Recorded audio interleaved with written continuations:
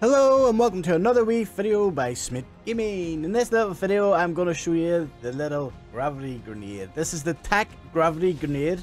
It has, so far that I find, two options. You have this blue one, then you right click and has the yellow one. Oh, get out of this bad boy. Right, I'll put it back to the blue. One, two, three, four, five. Uh-oh. Now you see there, it uh, sucks you in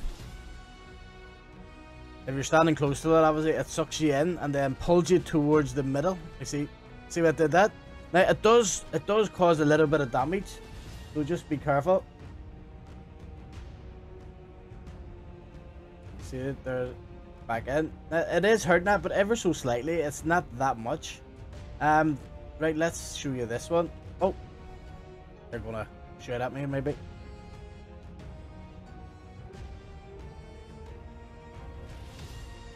See, that one's the opposite. It pushes you away.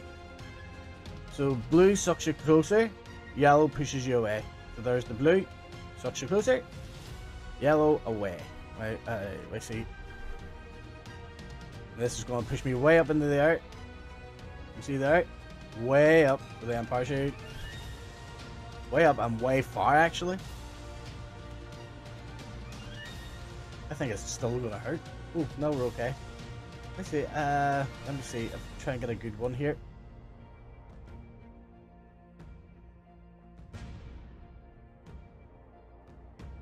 There we go, nice and high. So it could be good for getting over walls, getting away from things, that no, that kind of thing. Um, the other one, if somebody's attacking your base, you could throw that at them. Let it suck them, have your rocket ready and shoot once it blows up, sucks them towards the middle, just shoot, bang, boom, dead, or your gun, shotgun, sniper, whatever it may be.